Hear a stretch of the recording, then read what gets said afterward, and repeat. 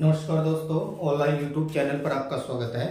दोस्तों, आज हम लोग चर्चा करेंगे राजस्थान के जो पाँच प्रमुख जो त्रिवेणी संगम बनते हैं, उनसे परीक्षाओं में प्रश्न पूछे जाते हैं। तो त्रिवेणी संगम का मतलब होता है, जहाँ तीन नदियों का मिलन होता है, उसको त्रिवेणी संगम के तौर पर जाना जाता है। से दो नदियों का जो मिलन होता है, उसको संगम या प्रयाग भी बोलते हैं, और प्रयागराज का गुरु कहलाता है पुष्कर, और प्रयागों का प्रयाग कहलाता है प्रयागराज के इलाहाबाद को बोलते हैं। तो राजस्थान के जो प्रमुख जो त्रिवेणी संगम बनते हैं पाँच इन पाँच त्रिवेणी संगमों में से सबसे पहले हम लोग बात करते हैं पहला, जो बनता है सो माही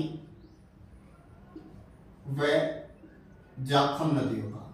सो माही, जाखम, इन तीनों का जो त्रिवेणी संगम बनता है, ये बनता है नवा टापरा गाँव के पास, यानी उस जगह का नाम है बेणेश्वर।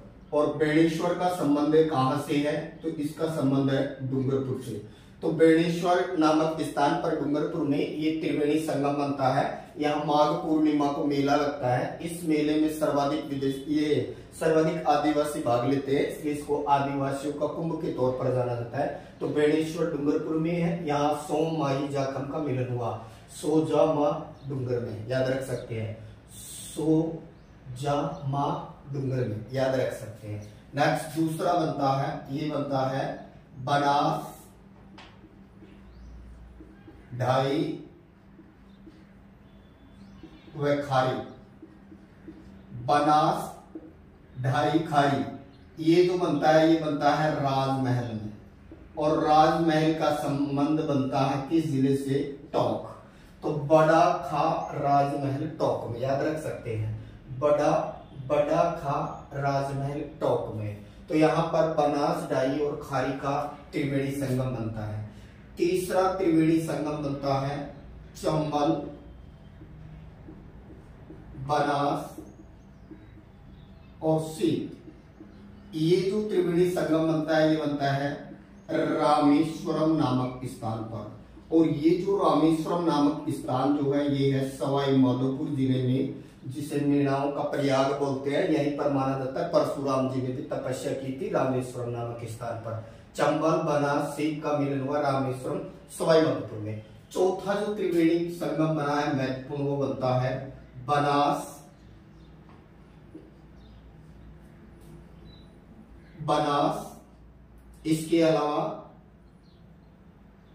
मानसी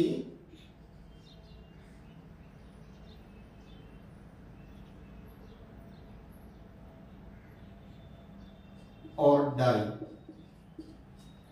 बनास, मासी और ढाई। ये जो बनास, मासी और ढाई। इसका जो बनास, बांडी और मासी। बनास, बांडी और मासी। बनास अच्छा या बांडी। बांडी व मासी। इनका जो मिलन होता है, देवधाम। और देवधाम ये निवाई टॉप में देवधाम निवाई टॉक। इसके नेक्स्ट सर पांचवा त्रिवेणी संगम। बनास, मेनाल और बेड़स। बनास, मेनाल और बेड़स। इनका जो त्रिवेणी संगम बनता है, ये बनता है बिगोद।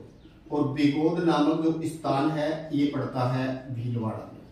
तो ये कहें कि भीलवाड़ा में बनास, मेनाल और बेड़च का बनता है। बम्ब दी का भीलवाड़ा में याद रख सकते हैं। बना की मासी बांडी देवदम, जोधपुरी ऐसे याद रख सकते हैं।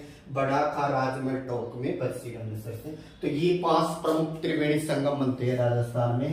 पहला है सोम माई जाखम का, जो बेणेश्वर डूंगरपुर में बनता है। और अगर कई बार गाँव का नाम दे देता है नवा टापरा और नवा टापरा जो गाँव है, यहीं पर माघ पूर्णिमा को मेला लगता है। इसी मेले को कहा जाता है आदिवासियों का कुंभ।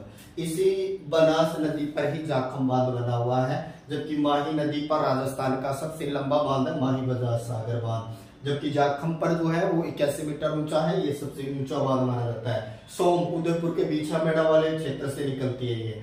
चंबल की जो सबसे लंबी सहायक नदी है, वो है बनास। इसके अलग से बात करें कि जो ये पाँच जो त्रिवेणी संगम बनते हैं राजस्थान में, परीक्षाओं में इनसे एक प्रश्न ज़रूर आता है। चैनल को लाइक करें, सब्सक्राइब करें।